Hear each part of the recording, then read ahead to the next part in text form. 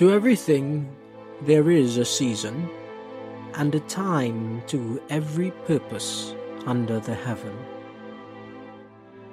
A time to be born, and a time to die.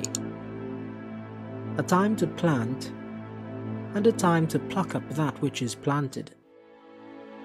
A time to kill, and a time to heal.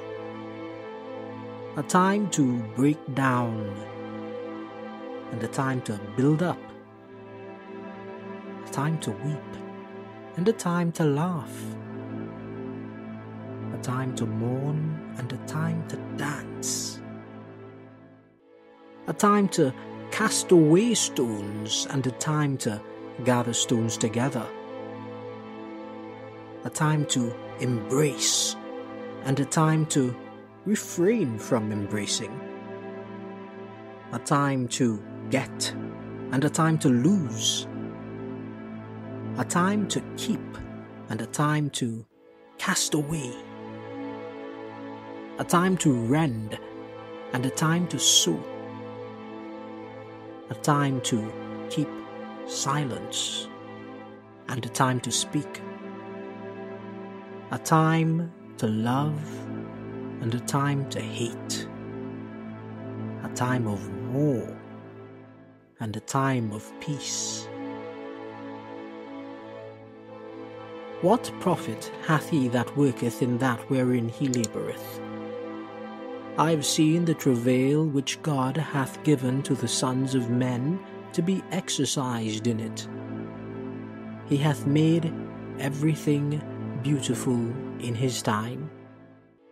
Also, he hath set the world in their heart, so that no man can find out the work that God maketh from the beginning to the end.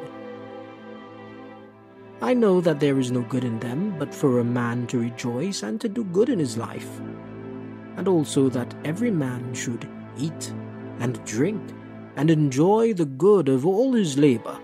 It is the gift of God. I know that whatsoever God doeth, it shall be for ever. Nothing can be put to it, nor anything taken from it. And God doeth it that men should fear before him.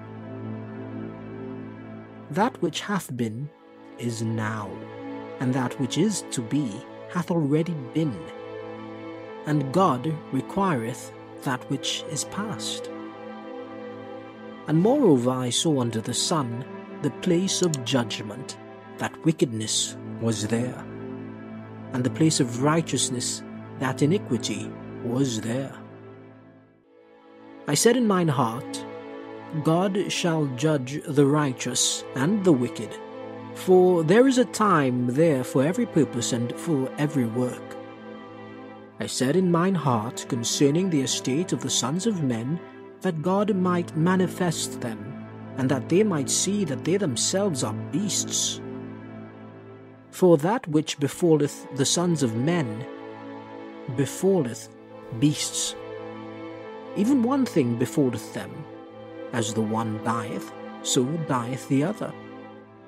Yea, they have all one breath, so that a man hath no preeminence above a beast, for all is vanity, and all go unto one place.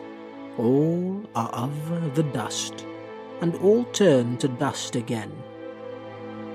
Who knoweth the spirit of man that goeth upward, and the spirit of beast that goeth downward to the earth?